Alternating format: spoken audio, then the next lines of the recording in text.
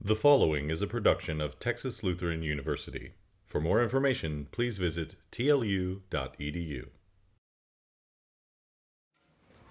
Um, I'm Dr. Perez, um, and we have two speakers who are going to come talk to us today about the uh, conservation plan for both the San, uh, San Marcos and City of New New Braunfels. City of New Braunfels. Uh, but what, what river? Oh, Comal. Comal, Comal. Landa Park area. Yeah, Landa Park area. Um, so this is Melani Howard and Zackary Martin. And um, Melani is from the San Marcos, uh, city of San Marcos, but also from uh, Texas, uh, Texas State University, where she got her master's degree. Okay, great, thank you. Okay. So why don't you start and tell them a little bit about the HCP? Sure.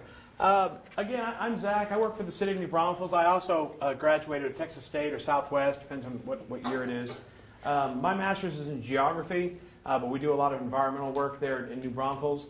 And just like the, the, the HCP, the Habitat Conservation Plan, is a larger structure that incorporates uh, the City of San Marcos, San Antonio Water System, the Edwards Aquifer Authority. There's a lot of players in a big, it's a big picture plan focusing mainly on water quality and, and trying to enhance the habitat for the endangered species in two different systems on the springs, the Comal Springs and the San Marcos area.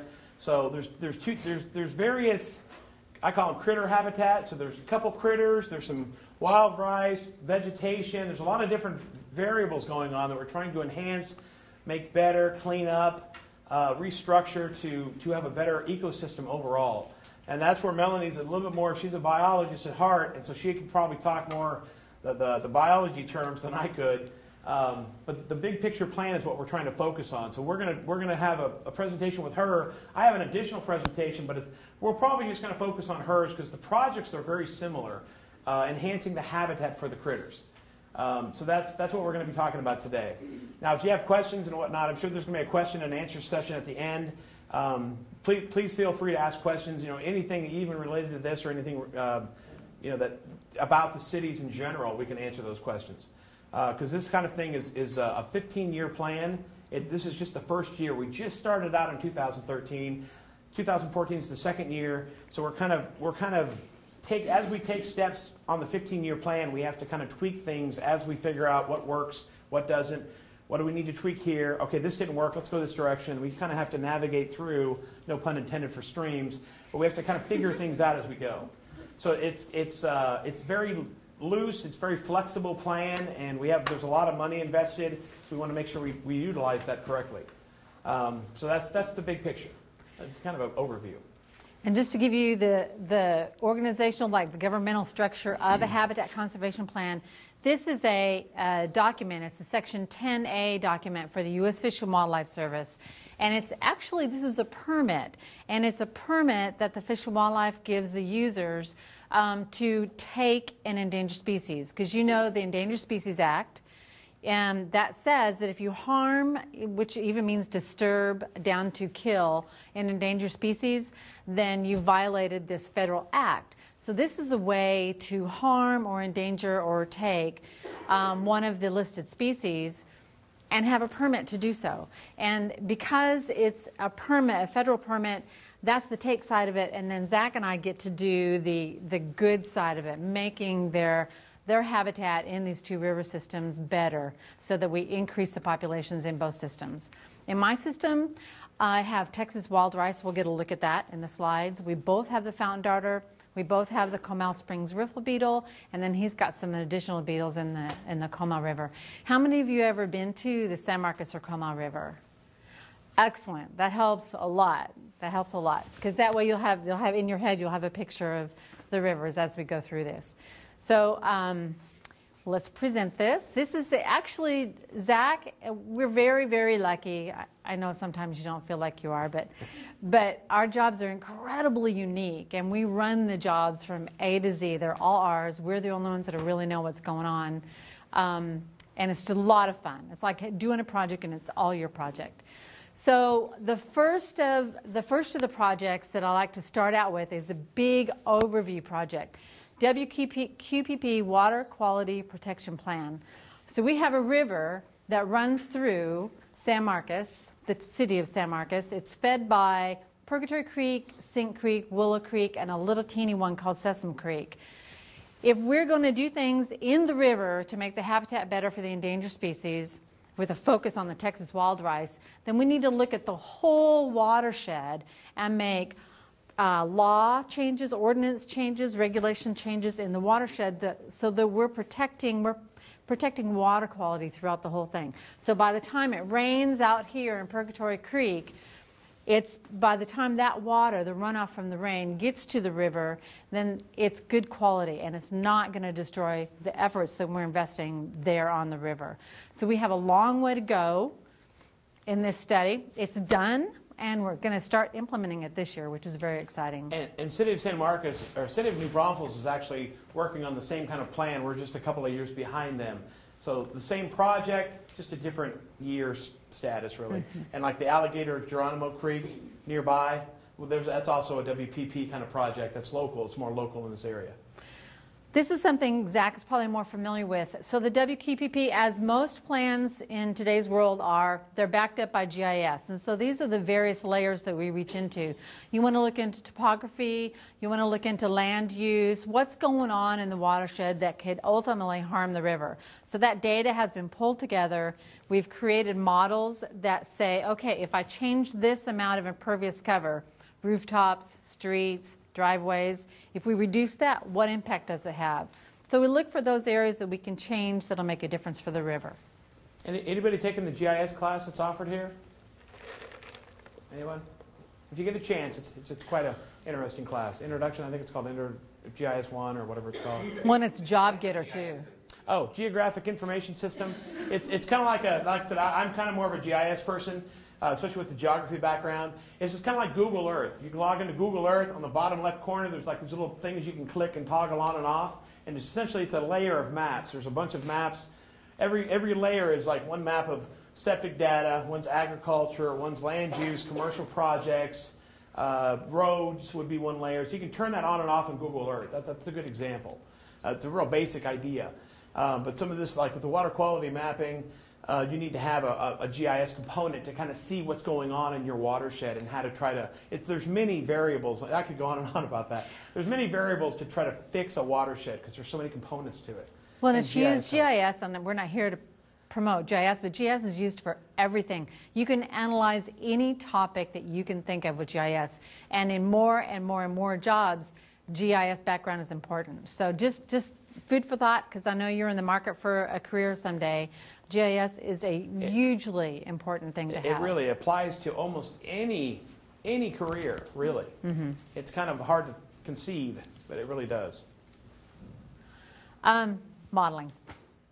So in 2014, with the WQPP, we're going to start. We've got to train the staff at the city, train the staff at the university because they don't think about when they're going, they're putting a bridge over a bridge over a road. They're not thinking, oh my gosh, Purgatory Creek fo- flows underneath it. How can we protect it? That's the last thing on their mind. So we've got to switch their paradigm. Um, we're pulling in stakeholders because the development community is not going to be happy about the WQPP. We're going to try to show them economically how it is advantageous. We can make it a win-win for everybody. So that's our, that's our goal for 2014. Another one of our programs, we both have this one, is household hazardous waste, and that is just to help increase the outreach of the collection of things like paints and chem- household chemicals, gather them so they don't end up in the river. So the HCP is funding an expansion of our household hazardous waste program. What about you? Oh, same thing. I was about to say these pictures look like you stole them off of mine. I had exact, almost exactly the same pictures.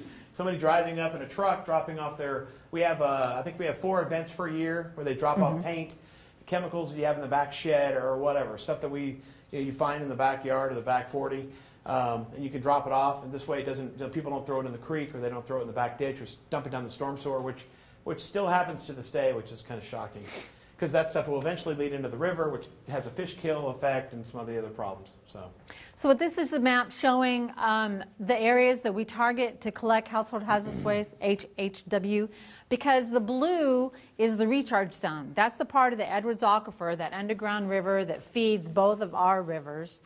Um, everything, every time it rains, if you've got paint and it spills over, it's going straight into the aquifer. That aquifer, aquifer flows underground. It springs up in the Comal River and the San Marcos River, and there you go. You've got contamination in your river. So we target those areas for collection. And this is, I don't know what this is. We'll skip it. Um, and so some slides I'm going to skip because this this was made for a target audience, the Edwards Aquifer Authority, when we were doing our 2013 reports. And this is a series of maps coming up showing the locations where all my contractors are working. And we're going to get into this anyway, so we don't need to do it now. Bank stabilization, again, another project that we've both done. There are areas, the San Marcos River, you've been there. Have you been there during the summer? Obviously. There are a thousand million people on the San Marcos River and they're all trying to get in the river. And so when you have foot traffic after foot traffic trying to get in the river, this is what happens. You have bank erosion, you lose a lot of soil, you get compaction, you lose vegetation that was once growing in that area. All those, those things are terribly horrible for water quality. You get sedimentation in the river, you get other kinds of pollutants coming in. So, so, so the most drastic pollution for the critters is sediment. Yep. Not chemicals, not anything else. It's sediment. That's the one thing that's the that's worst. I'm sure so what we did was that we, in one of your classes already. We targeted these areas for bank stabilization projects. Makes sense. And I thought, well, if I'm going to stabilize a bank, why the heck wouldn't I also make it an access point? So we used a terraced kind of stabilization with some landscaping and it's a huge area for people can sit, they can walk into the water, they don't have to climb, it's safe, it's attractive. And then I've incorporated that with a strategy of increasing the intensity or the density of vegetation between all my access points. So it's like telling the people, here's a great place to get in, and then making the tree dense area unattractive so they don't want to come in that way. And that preserves my banks. And that's similar. We have, we have the same kind of setup. And if you've been over to Hinman Island and over by the tennis courts where you get into the go tubing in the water, they have like a tiered kind of structure that kind of guides you to a certain area. They have some areas are gated off. And we have a, actually, well, by the golf course and uh, that area, there's actually a, a, slope that's a little higher than that, but it looks just like this.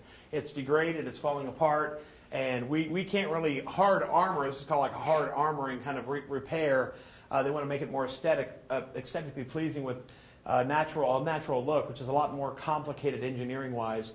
So we're spending a lot more time in design, which takes longer, which is actually, we should have had it done already, but if we would have done this, it would have been faster. But we want to make it look more like this without the slope and have it nice and green with trees and, and look, make it look natural, which takes a lot longer, a lot more money. Um, so we have an almost identical problem. But that's not where they're going into the river to go tubing, but they we, we're mm-hmm. sloughing off for other other reasons, water runoff from rain events, and, and very it's just an older system. So. I remember I've, this is the first. Um, I'm a biologist, and so um, I'm not a construction project manager. This is the f- first construction project I've ever done, and I was totally in charge. Um, you know, I, I, researched, I did the study, I thought I had everything done the right way, and I, so I got up at 6:30. I checked my iPhone, and there was this message with red flag all over it. They drove the excavator into the river, which is a huge no-no. And so they drove this big machine you see in these photos. They drove it straight into the river so they could place this rock out in the river. Uh. so I, that that project is over, and I am so glad. Permit, like I still have a job. Jeez. Um, these are these are the other sites. It says 2014, and he's he's done. He's already completed all the sites. So we have six or seven sites all up and up and down the river. Come back this summer. Come take a look at the sites. Um, I would be glad. We'll give our numbers at the end of this. I'll be glad to hear any comments you might have about what you think of them. Um, the next project, the third project, is to get rid of elephant ears. Have y'all seen those? Along, we both have those too. His are bigger. His elephant ears have a bigger leaf to them. Yeah, ours are over by the gazebo. If you know where Landa Park is, over the gazebo area, we had a long uh, across. It almost looks uh, quite like this actually, and they, we've actually removed all of ours. You got to do multiple applications because they're really hard to get out. Mm-hmm. Super uh, hard. Completely. So why would you want to get rid of this plant? Does anybody have any idea? Exactly, it's invasive. Good answer. It was introduced in the early 1900s, late 1800s. because it is very attractive. People love it. And but an invasive does exactly that. And so from headwaters all the way down to the Blanco confluence, nothing but elephant ears in the littoral zone of the river. So that destroys habitat um, for different kinds of native animals, and so we want to get rid of them. And these all, by the way, are all fish and wildlife projects. These are projects they want to see done that's in their recovery plan. We didn't just make these up. So we have a contractor, EBR Enterprises, that comes through, and he worked for me as a volunteer before he actually got this job. That was kind of cool. Wow. So the benefits of volunteering. Um, and he comes through and he uses a drip spray, uh, uses rodeo or he uses triclopyr, depending on where he is in, in the littoral zone. Drips it onto the leaf, it soaks it down into the tuber, and it kills the plant. But as Zach said, under that tuber is another tuber. So when he's gone, another one comes up, or they vegetatively grow in every direction. And so you get baby after baby after baby. The areas that he's worked along the river, I won't go into any of that, but those are some of the stats that I presented to the EAA. And, and since they do look so nice and they've been there for so many years, you get the the population or the, the, the, the neighbors that, oh, but that's natural and that belongs there. Actually, it doesn't. It's, it's invasive. It doesn't belong here. It's not good for the beetle habitat. You know, there's a lot of biology and a lot of science behind why they need to remove. So that's why a lot of our job is public education and outreach and, and teaching the populace in a very easy to understand terminology why we're taking these out. Even though, oh, but this is pretty. Well, it's not good for the habitat. And, and trying to teach them an ecosystem balance of what's really going on is, is sometimes difficult because they don't have a biology background. And I didn't either about a year ago. I know a little bit about endangered species. I worked for the state and did a couple of, couple of years of this kind of thing. But when you're a biologist, it's a different, you know, it's a different way of looking at things. Sure. So I've had to learn quite a bit in a year, very quickly. I spent a lot of time with the biologists in the field, stomping around, looking at beetles, looking at critters. Uh, so it's, it helps me educate the, the, the, neighbors and the populace when they, when they start getting grouchy. Because they don't want to, they don't want you tearing up their, their stuff because they grew up with this kind of, mm-hmm. you know, this kind of landscape. Changing their world. And it's not, it's not, it sh- it's not good for the environment. So that's why we're talking to you today. So that when you go to the river this summer and you hit, get on tube and you hear somebody complaining, like, hey, let me tell you about this. Yeah. Okay, this is the riparian management. Now, this is some, that's a bunch of elephant ears. After they've been treated, they just kind of wilt back. How many times do you have to apply? Three or four? Um, you can hit a stand one time, and that stand will absolutely die back. But then you it'll, get regrowth. It'll pop up. I think we so had they, at least three three different times of chemical yeah. uh, application. They have to do a lot of mop up. Yeah. And these are just showing, these maps are bringing you from the top all the way down, showing the different locations along the river that EBR is working. And I've done that for every contractor. So if I flip through, that's what I'm doing, just showing all the different areas. So what I've done um, is I've embedded some videos. Since you can't go to the river and talk to our contractors, we've embedded videos that will bring them to you.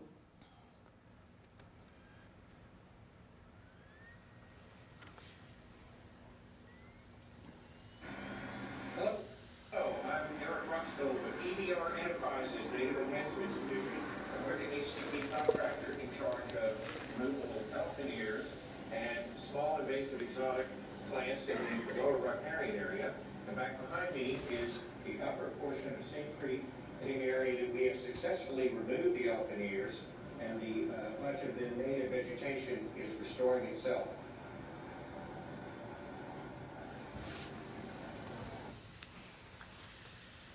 Okay.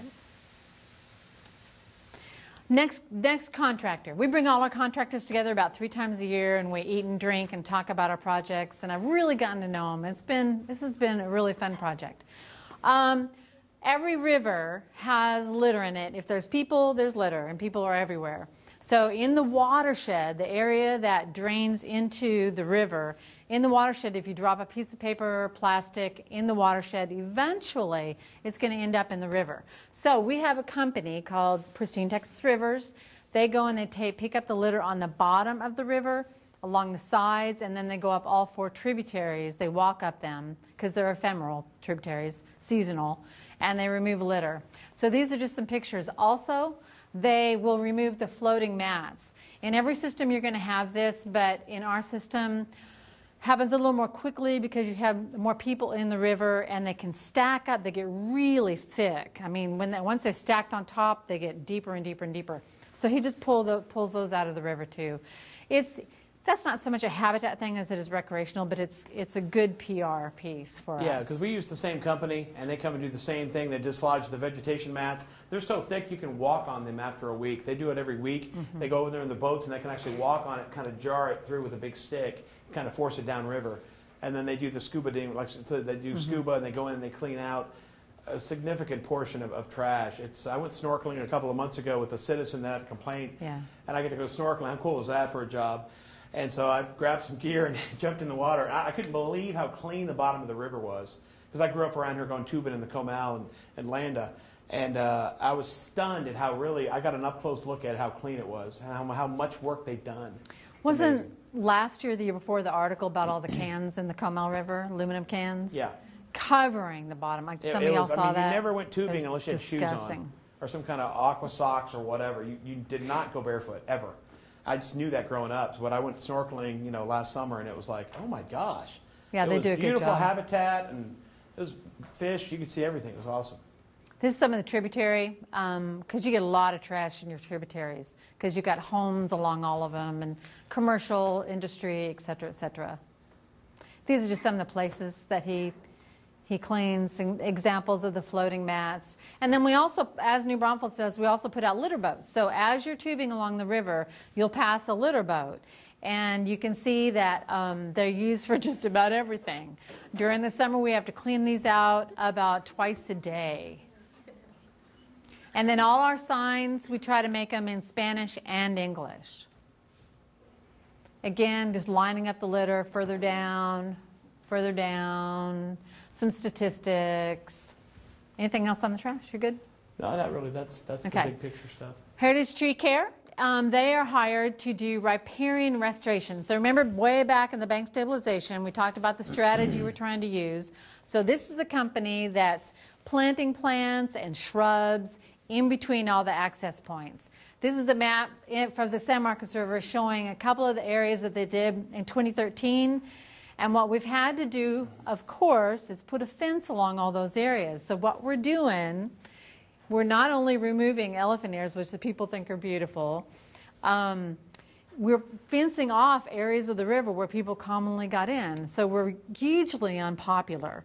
So we try to do a, use a strategy of since we have all this fence area, we put signs along our fences so that when they walk up to the fence, there's this whole sign telling them everything that we do, why we're doing it, and what it's going to look like, and that someday these fences will come down. Uh, there's some of the areas that he has worked on to restore, and let's let him tell you a little bit about that. This one's kind of hard to hear. There was a lot of wind.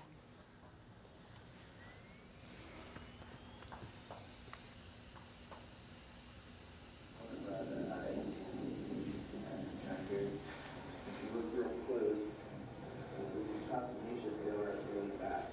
So we treated this one, and we had to, to uh, go around the treated area, continue growing, and now we have a pretty well-established invasive species in less than a year's time since we cut it. Um, as we pan out, you can see that we're trying to uh, promote is our native, uh, we found another native here, and we're trying to vary, only after ninety-two months growth is already starting to shade it out.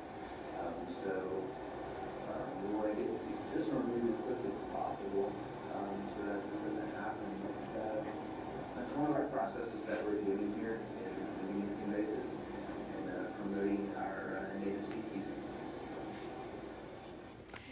So along the river, we have a lot of invasives. Waxy ligustrum, look, and these are so common. You'll see them everywhere. China berry, Chinese tallow, paper, paper mulberry, everywhere. So those are coming down. The first time we did it, set up the fence. They went behind there. They took out all those invasives, and the bank was, gosh, 70% clear. So it made a huge difference. We've had a lot of comments on it, but then they go right back in and plant a lot of small native seedlings. We also have volunteer. oh, I have another one. Oh, yeah, Zach. This is the other contractor, same company in this one. Not me, and others. Oh, different Zach. Different Zach. Yes, not this Zach. I'm not doing stuff on the side or anything. Well, that's Derek. Oh, this is their erosion, how they control erosion. New Braunfels does the same thing near the gazebo on our slope. Same thing. It's very good. It's very natural. So they're putting the they're putting the the exotic species. They're cutting down the trunks and they're actually building like a little footing. So as Yep. the as the erosion keep continues to happen, it'll kind of build up and build like a little shelf. So it'll actually keep it from going in the water, and then that'll eventually revegetate, and you'll have a nice stable platform. Exactly. And that's what we're also doing too to keep the sediment out of the water, so the riffle beetles can thrive and the fountain darter and everything else. So And this is a photo of their planting. So um, behind, and I caught a little bit of flack for this the other day at a meeting when I did a presentation, for five to 10 feet behind the fence, they will plant what I call prohibitive plants like prickly pear and acacia and agarita, lots and lots of thorns, flowering mimosa, because that's the area we, we, we really don't want you to come through here. So let's help you understand that. poison ivy. Poison ivy. No, that's too indirect. See, they get into the poison ivy, and the next day they're broken out, but they're like, how'd this happen? So, They want immediate response. yeah, exactly. Instant, instant pain.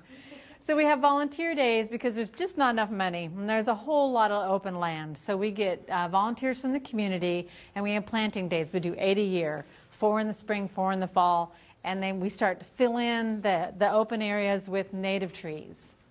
And these native trees are provided by Fish and Wildlife, so they're a partner with us in, in this effort. That's all of us out there working away. New Braunfels doesn't do any of that. We don't like trees. So.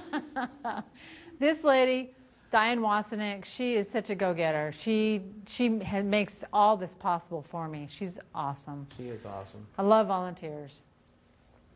Atlas, um, I don't know if you guys do this. You, you guys do this. Atlas Enterprises, Atlas Environmental, is really a one-man show.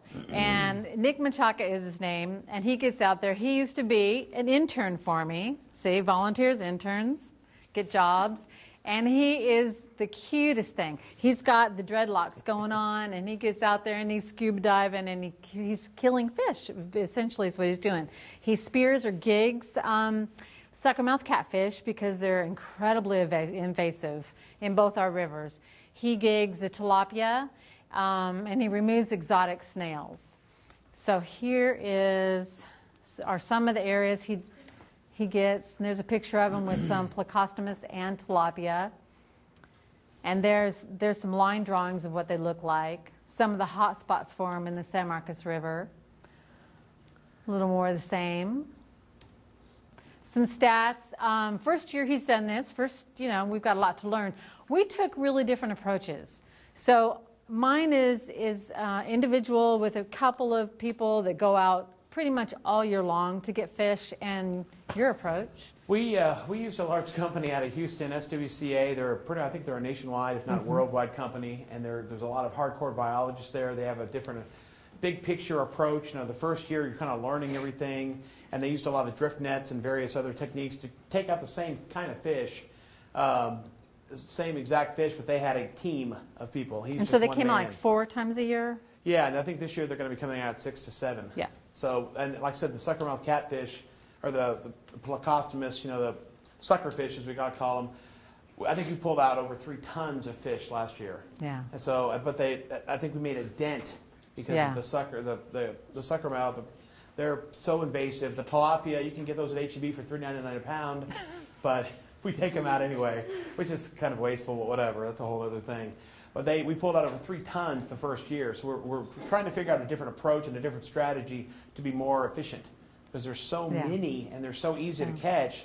It's just you could scoop them up all day long for 12 months out of the year. you- And then the you know. minute you stop, they have a bajillion more Yeah, babies, they just, and there you they're, are. they're there again. It's like, Yeah. so you have to really think strategically, like, how do we, how do we do this? Yeah. You know, let's use our brain here. so this is one we're still absolutely learning more on. It's tricky.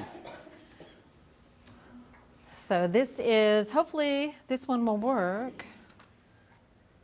Okay, so if you're squeamish, you may not like this because this shows him gigging. Shows them in, at night diving and then during the daytime. And I might have to stop it, it goes on and on.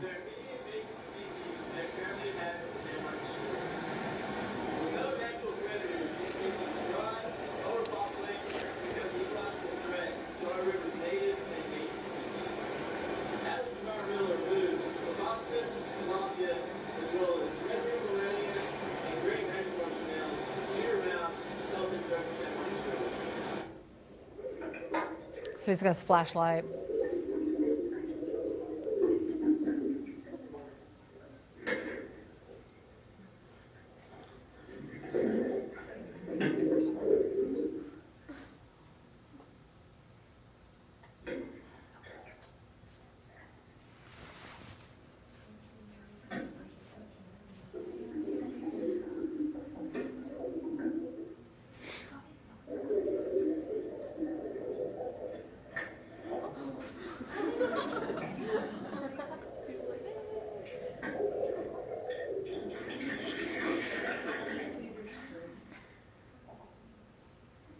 Now, I've never watched it much past this point. I'm not sure how much longer it goes. He's working on the time. no, he's, he's loving this. So the plecostomus are not edible.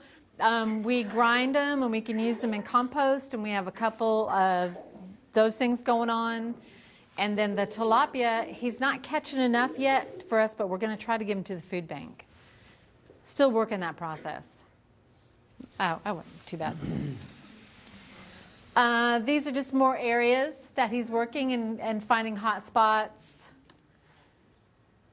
Okay, so now we move in. So the reason we're, we're, we're taking out the fish, Yes. right? The reason we're taking out the fish, the big picture here is not because we don't like fish, is that they're not they're, they're invasive, they're not native.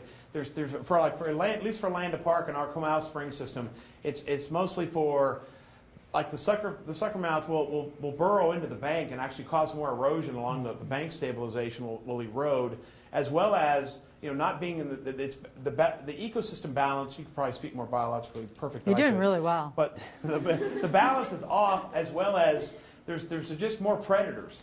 I mean the predator predation balance there is off because even though they, they might not eat fountain darters but they'll eat whatever and so if there's a fountain dart or there's some endangered beetle or something floating around, they're like, oh, food. And they don't care what it is. So you're actually increasing the risk of removal of this species, mm-hmm. which you know shouldn't be there. So we need to start pulling them out. Even that's why we need to be strategic and learn the best way and time management. Like this mm-hmm. guy's doing it one at a time, mm-hmm. and I think our guys made a dent, and they had a team of expert biologists, and they still are trying to figure it out. So it's not, you know, like I said, every year we have to be flexible and kind of flow with, okay, what did we learn last year? Okay, let's go this direction. Next year, let's go a little over here and, and get the best bang for our buck, essentially. Because we don't have unlimited funds or unlimited people. We utilize interns quite a bit. You know, the other take home from this that we're um, focusing on i- are aquaria. These, this guy came from aquaria species. So when you have an aquarium, freshwater, and you go by that little algae eater type fish that they sell to take the algae off the glass of your aquarium, well, at the end of the semester or anybody, you know, he's grown large and you want to do something with him, or you're tired of the tank. Nobody wants to flush a fish down the toilet. So where do you put him? In the river, because they're going to love it. That's how these guys got started.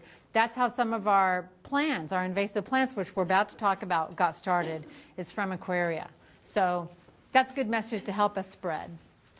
So our next contractor, Meadow Center uh, for Water and the Environment, McWee.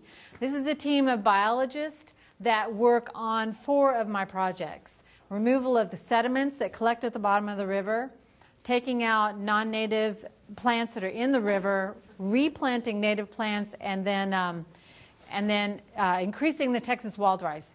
I have to increase the Texas wild rice in the river, the endangered plant species, to a certain uh, density to meet the, the obligations of this permit. So what they do is they dredge. This is their test site. They went out there and thought, how are we going to do this? We have to use a soft approach. Fish and Wildlife wanted us to dredge in a vacuum style, so they threw together this apparatus. They're on a barge. They've got the pump. They've got the divers in the river. They practiced in Spring Lake. And you can see the effluent, and they just dumped the effluent on the ground, the discharge on the ground, because we weren't really set up yet. We just wanted to see what would happen. We get a lot of water and some silt, but it worked. So that's where they started. Now they're working here further downstream. The yellow area is the area that they have cleared out, like three feet of silt. That whole area has been cleared, and the discharge in a low area in the park itself. I just missed something. These are the guys in that area working from the barge, divers in the water. A little further upstream, they cleared out this area of fine sediment and silt. You can see that is the vacuum head itself. And so the diver, and you'll see a video of it, the diver will just kind of vacuum, pull up the sediment and go back and forth with the vacuum head and pulls everything into the hose. And we had the same setup in Lane of the Lake. We pulled out some fine sediments out to enhance the riffle beetle habitat. Same kind of concept, same, just different, different system. Sediment bad, bad. Could get it out of Bad, there. bad. Bad. Choking out the critters. It really does. So this is going to be quiet for a while while they're underwater. You can see the sediment getting sucked into the holes in the sieve that surrounds the intake, and they're kind of pushing the sediment into it. Coming out the other end, how thick and how black, really rich, good soil. That's, if you went to Home Depot, that's five dollars a bag right there. it's the best stuff on the planet. These are some of the areas that they dredged this year over here, some of the upper areas, and then we're hitting the lower areas. Um, I'm sorry, last year. This year we're hitting the lower areas, 2014. They also do vegetation removal because there's a lot of invasive veg in both of our rivers. Hydrilla nationwide, that's in lakes that clogs everything. We also have hygrophila and a few others that they're picking, like cotton picking um, by hand. It's a very hands-on process. And we, we, use, we did the same, we have the same kind of problems, same kind of invasives, and we use, instead of using the Meadows, which very good company, very good people there, we use BioWest. They're also a nation, nationwide company. They're Also of, a very good company, very good very, people. yeah, very good, very smart people there too. Um, biology heavy. And so we, we use them doing the same kind of work exactly. Yes. Okay, these are the areas. Just this map, uh, the different colors are the different plants. So really quickly, uh, to show you, for example, this is the hygrophila, it's an invasive. This is before, this is after, spring and fall. Uh, this is Texas wild rice. You can see we've increased the footprint of the Texas wild rice through plantings. Again, the same thing, a before and after. The orange is hygrophila, the bad guy, and you can see it's much decreased with an increase in Zizania texana, Texas wild rice. This was an area, it was cut grass. It was, that's a terrestrial grass. So they've got so much sedimentation buildup in the river, right in the, uh, the concrete park called Sewell Park. Have you been up there? That's for the university students. Um, so it's just started growing out of the middle of the river. So they went in there and they cut all that, roots and all that it was a huge, huge endeavor. A lot of work. But that was before and that was after. That made us very popular with the community. So that was a good thing that we did. Um, the purple is the cut grass. So that's just a map showing you the before and the after of the cut grass.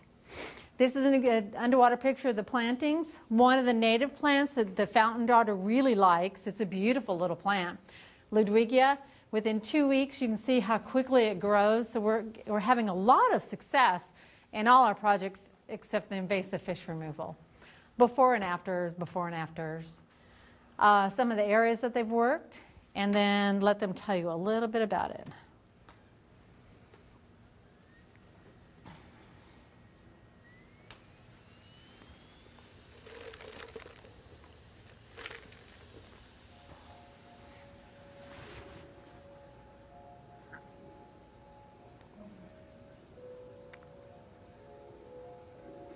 So he's just picking the hydrilla right out of the soil, put into a mesh bag, and then it goes up to the guys on top.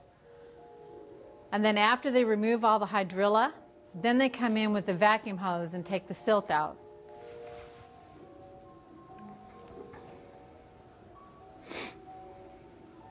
And this is one of the strategies where they remove the invasive plant that's right around the Texas wild rice so it can increase in size. Then they have to check all their vegetation bit by bit for the fountain darters.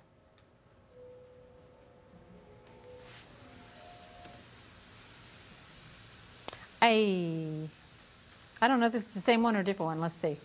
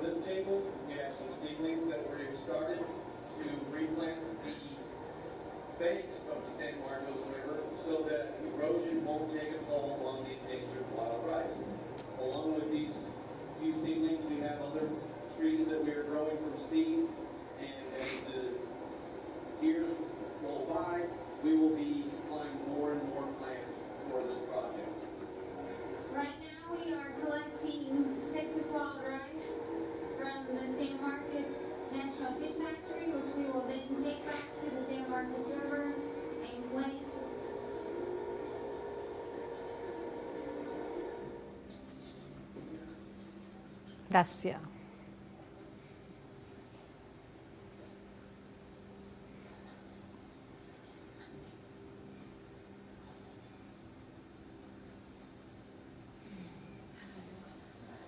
Not perfect dive. I'm so impressed. so those are brand new plantings of that, of the Texas wild rice. And if you go out there today, the area has completely filled in. They've just taken over. Very, put it very like in a grid pattern like we did? Do what? You, you put it in a grid pattern Yeah. and they go together Yeah. like a mesh? Yes.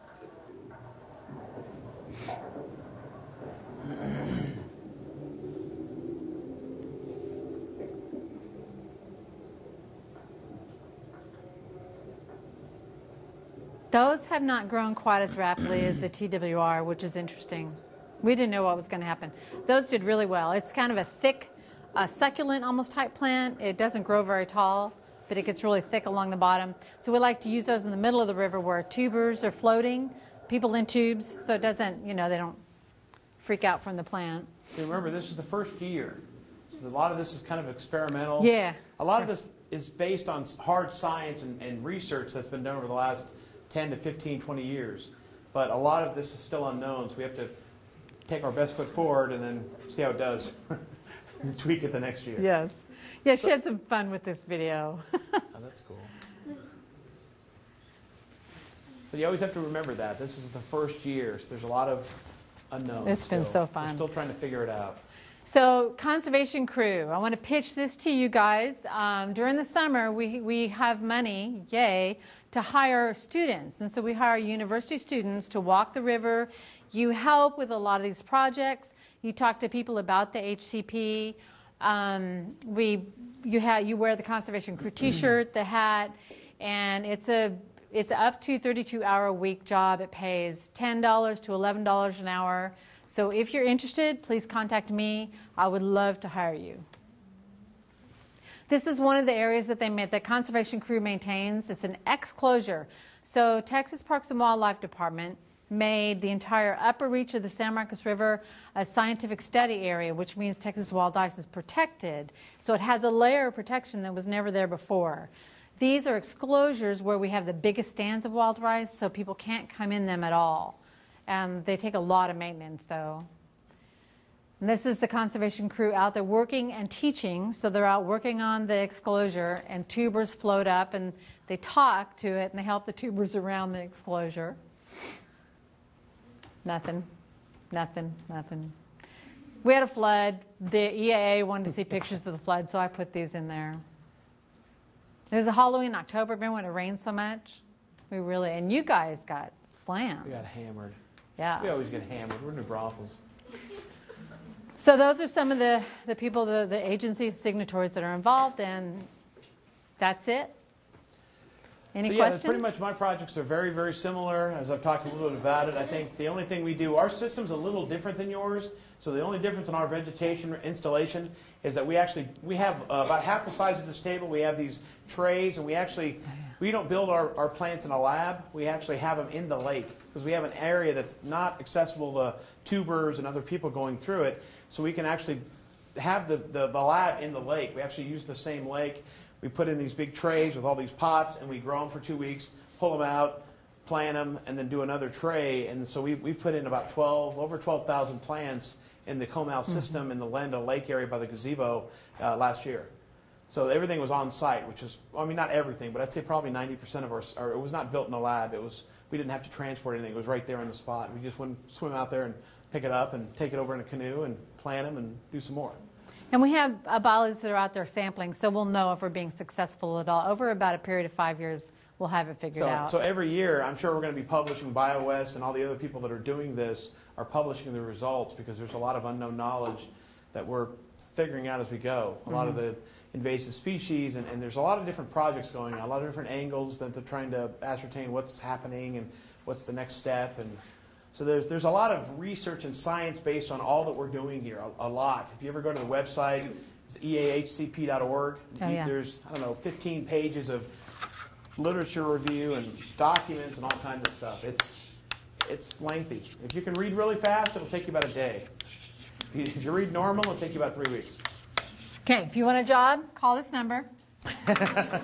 and then we want to introduce Oh, Kevin. This is, and this is Kevin Hose, my intern. Uh, he's been with me since last September. September. So he's been with me. Uh, he, he's also from. Well, you can talk about yourself. Uh, he can talk. I graduated from Texas State in August with a degree bachelor's of science in resource and environmental geography, and looking to go to grad school now and applying for jobs. And I have him out in the field doing all kinds of different stuff, whether it be presenting in front of groups, which he does, some of the nonprofit organizations, some of the kid groups. A lot of our job is public outreach education to the Rotary Club or the kids groups, or we do a lot of summer training with the kids and you know children's groups and stuff like that. Mm-hmm. Because a lot of this, you know, this this is a behavioral change about elephant ears and invasive species. A lot of adults are kind of like kind of stuck in that rut you know, kids want to learn and they want to recycle and do environmental good stuff, and so it kind of percolates through the kids, and that's we. I, I'm better with kids anyway, so I, I like kids, and so I do a lot of stuff in the summertime with the kids, um, and so that's one thing I have him doing also. He's he's very well versed in.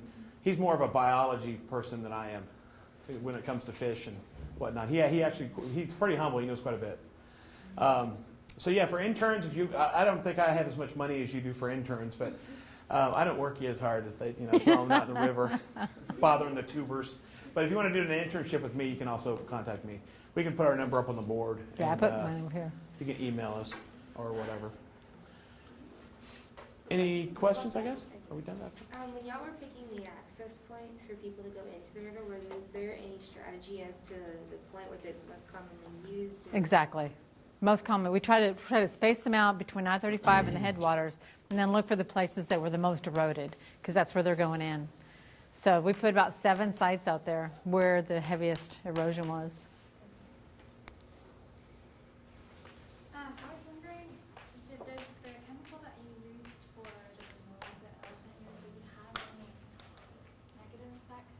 It's a glyphosate derivative, and it is called Rodeo, and then AquaNeat. It, they sometimes change brand names.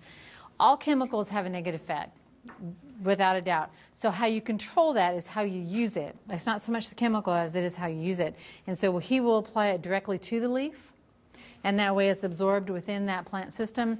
And we never do the broadcast spray because then it gets in everything all around it and it gets in the water. Yeah, that, so was, that was a concern of some of the neighbors.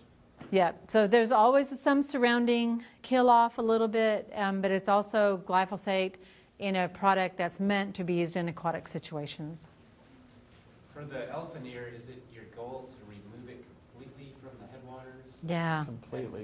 Is there a private land where it will still be growing? Yeah, it's a pretty idealistic goal. So, upland, if you go upstream, um, Spring Lake is fed by Sink Creek, and you're growing pretty vertically north that way. You get into a lot of private land in the creek itself, full of elephant ears. So, we've contacted two landowners upstream, and we'll keep working our way up. But he's trying to get it in the river first, and then we'll. We try to do, like I said, the, the stuff like even in New Braunfels, we do the area that's right next to the springs because that's where most of the endangered species are. They kind of hang near the spring orifices. And so that's where we hit the, that's the first year, first step. Mm-hmm. We try to wipe out the whole section because that's where the beetles live, that's where the fountain darter kind of thrives in that little pocket area. And we've thought about going kind of further up where some of the other springs are, but that's private land. We have to work out an agreement, and that's mm-hmm. gets kind of messy sometimes, takes time. But it's Usually true. they're they're pretty good with it because they want you're improving their property. So they're like, "Oh, you're going to pay to improve my property? Yeah, that's the idea. All right, come on over." You just you know, just got to work it out. But you're right. I mean, we'll be doing it forever unless we get every last one of them.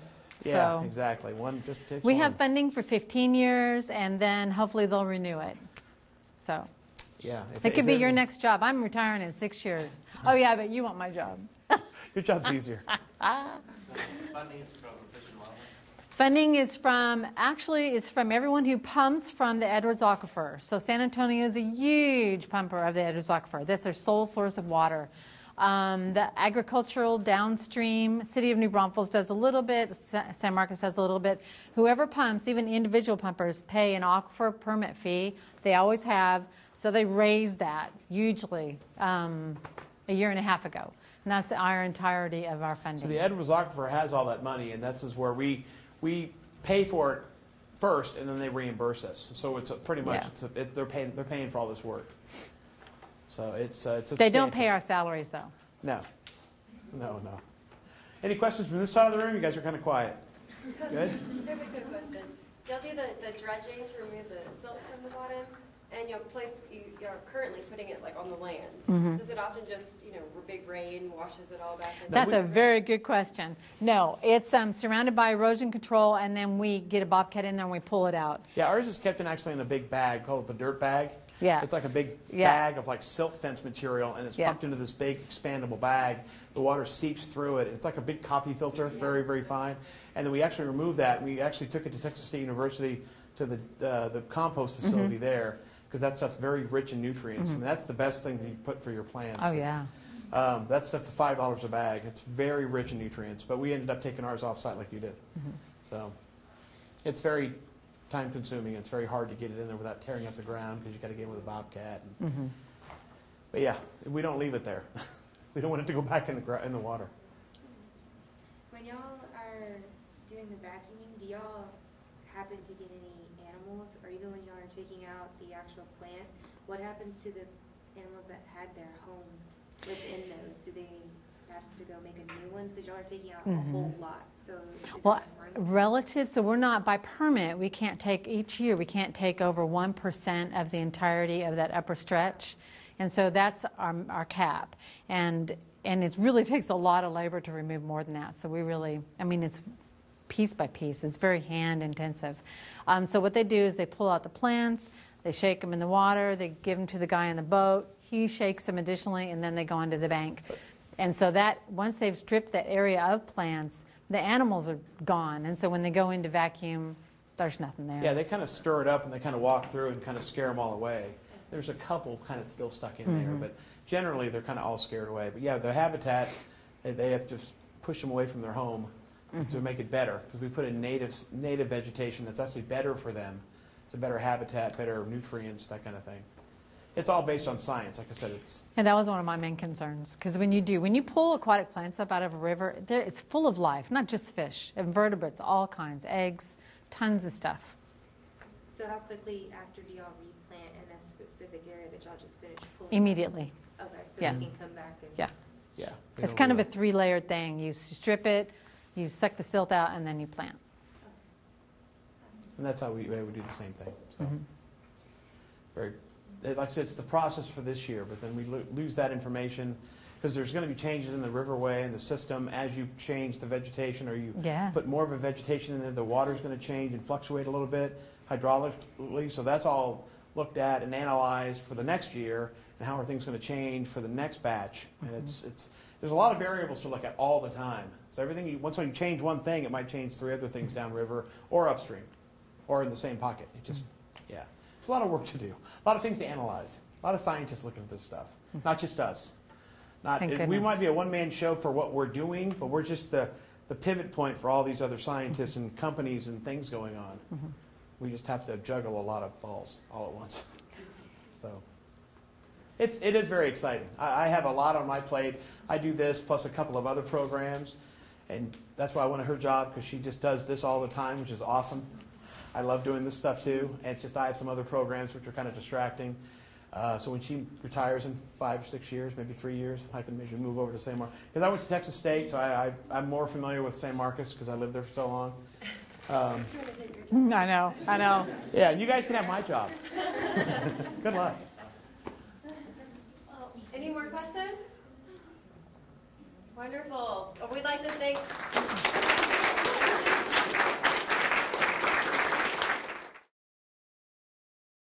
Students at TLU engage in high impact educational experiences that include civic engagement, aesthetic expression, critical thinking, and a focus on intercultural knowledge in a community that welcomes the interplay of faith and reason.